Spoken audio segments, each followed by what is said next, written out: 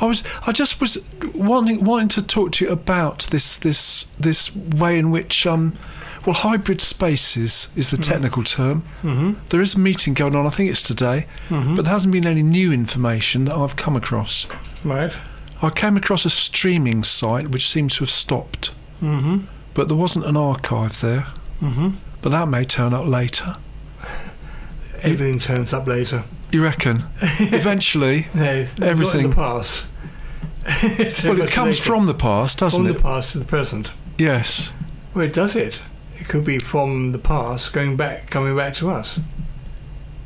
Well, yes. I mean, I'm well in a roundabout sort of way. Hmm. I mean, I'll probably be playing Motown tracks most of the time. There are there, there are some new ones, Right.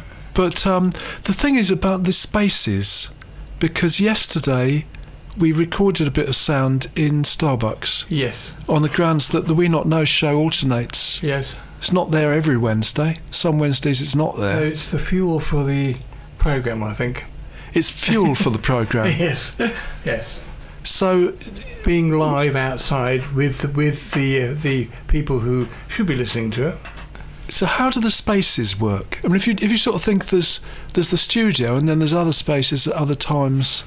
Well, we have Or we have how the that- studio where there's not a lot of noise No, had, and we try not to be a lot of noise in case we, we go mad in the corner. Um, so therefore, it's a controlled environment. yes, Whereas when you get out inside and you listen to, you walk along the high street, there's a band playing or somebody shouting something or preaching to you, you can't avoid it. So that's a natural sound or a natural situation. a, na- a should I natural Yes, I think that was a situation. Yes. Shall I play this just in case we repeat ourselves, Yes, and then we'll add to it. We'll add to it afterwards. So this was this was from um, from Starbucks uh, so about half past half past eleven, something like that. Yes. Yes. yes, like that, yes. yesterday. Yes. I'm recording now. Right. And what I want to talk about is hybrid spaces. Right. Explain, please, what that is. A hybrid space is like we're in one space, then we're in another space. Right. So, for example, we're now in Starbucks. Yes. Tomorrow we'll be in a studio, Yes. or another week Right. we would be in a studio doing either the We Not Know show or the Wild show. Right. So, what difference does it make that we're in a cafe rather than a studio? The ambience, I would say, the noise, background, Yes, the slurping of coffee, yes. and just generally very difficult to converse. Very difficult to converse. It makes um, it makes more. Uh, well, it, it opens up more scope that we tell the studio audience in the Phonic FM studio uh, that we do move around and we don't live in the studio and uh, and um, yeah, we go around trying to find out information and uh, learn information. So, are we are we learning very much? Do you think? Could, could it be said this is a learning hybrid space or a hybrid learning space? Uh, yes, I would say so because you've got whole walks of life around us, from older people to smaller people, shouting their heads off, but Yes. pretty good. Yes. You've got a whole spectrum of people around you. So we're not sitting in a studio where there's only three of us, Right. four of us. No. We- We're actually out and about. Right. So we might be we might be learning. Yes, I think we should be learning sound, about about uh, how to communicate in a very difficult situation. right. Okay. But so, well, I might stop it there. I think uh, the hash the hashtag is hybrid learning spaces. We've tried hybrid spaces and HLS, but hybrid learning spaces seems to be seems to be a good one. Okay, we're going to stop there. Yeah. So JD, Yes. you you, you said that just recently. The the point is really to, to work out what it is we're learning Ad about. bought by many pet insurance. Sorry, I, was, I, I thought it had stopped. Oh dear, no. Um, this is ad free Phonic FM. And we just load the stuff up to YouTube because um, it's the easiest way of, of working. But one day there will be a, the phonic cloud. Do you think? Good plunk cloud. Well, think Somewhere. We've got a few now. a lot of rain coming down. well, there's that as well. Yes. yeah. Well, we got we got to get this sort of um, sound technique in a con- in condition so we can Yes. actually talk about something, and it's music, which is the thing which overtakes these places nowadays, which is very difficult to talk in. So, um, because it's not just a visual thing we're doing, we're doing No. just sound, so we have to concentrate on how the sound sounds. Yes. Hmm?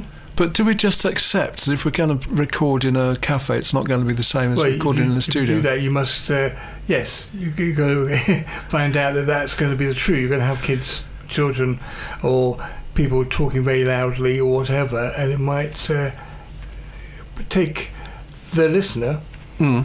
uh, away from what we're trying to say. So it's in here. So, like I said, we've got no other background noise. No, that is the good thing. Yes. So we're just we're just our our voice Yes. to you. Yes. But how does this how does this compare with, with what an educational place is doing? If they if they're getting into hybrid spaces, if they say the students can go off to a cafe or Mm-hmm. watch television or But they're going to Whatever have to be very careful about copyright and that sort of thing on what's happening around them. It's very difficult to control. It's easy, as I said, down here because it's only just us, that's true. and um, we can always tell one another to shut up if there's something wrong, or you know, we can correct ourselves. But when you're out and about, you can't correct it. No. Yes, see, it's So it's it's not it's not controlled. it's not controlled. No, so it depends on where you're going to put the medium. Yeah. If it's, for instance, a film, tho- I'm sure that would be okay because that's you've got two things explains it. But sound by itself is very tricky. It's very um, concentrationable.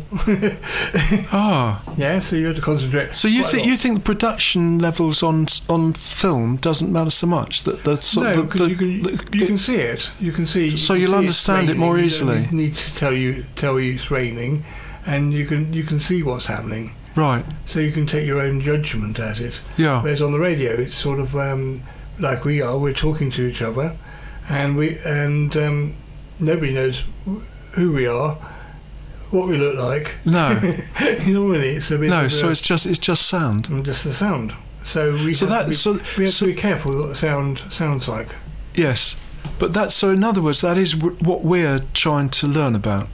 Es- essentially, it's sound. What Yes. what we can do around yes, it. yes, what we're allowed to do in order to to make that picture in somebody's brains, you know, the other side in Australia, know what we're doing. Right. Now, design, Mm-hmm. Because we are the design science DJs, Mm-hmm. according to YouTube searches. Yes. Whether we've actually. Uh, do I get a, an OBE for it? oh, I think pr- eventually. yes. Or CBE? When, when the design science DJ is recognised, we, nice. we will be we will be there. Yes. So far, I'm not sure we've delivered any content. We've just done a number of titles Right. to establish the search result. Mm.